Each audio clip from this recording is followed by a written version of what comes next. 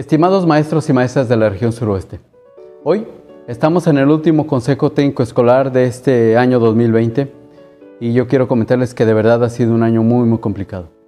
Sería engañarnos si pensamos que no ha habido sufrimiento en nuestra comunidad educativa.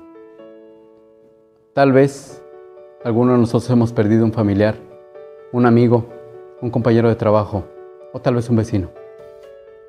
Pero 2020 también ha sido un año de mucho aprendizaje. Hoy, ustedes maestros, nuestros padres de familia, nuestros alumnos, han aprendido a hacer cosas diferentes. Se han atrevido a hacer cosas diferentes. Y como siempre he dicho, en la adversidad florece la virtud. Y hoy este Consejo Técnico Escolar nos abre la posibilidad para reconocer esas luces que han brillado en medio de la adversidad.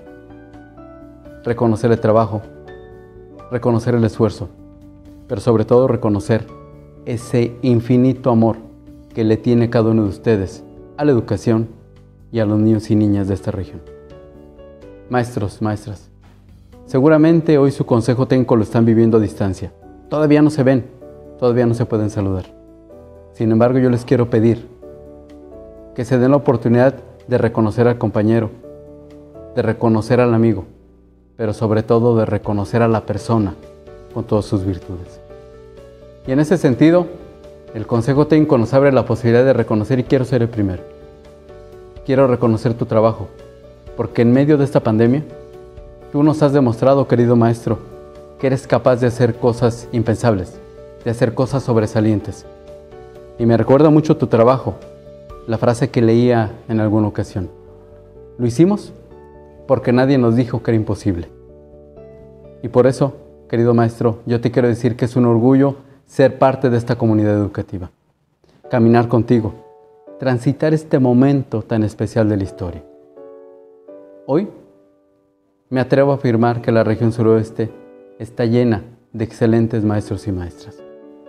Y por último quiero decirte que en estos momentos de incertidumbre tengas tú y tu familia la tranquilidad de que las decisiones que se toman que se han tomado y que se estarán tomando, piensan no solo en el tema educativo, piensan también en la tranquilidad emocional, pero sobre todo estamos pensando en la salud y en la vida de cada uno de los maestros, de cada una de las maestras, de los padres de familia y también de los alumnos.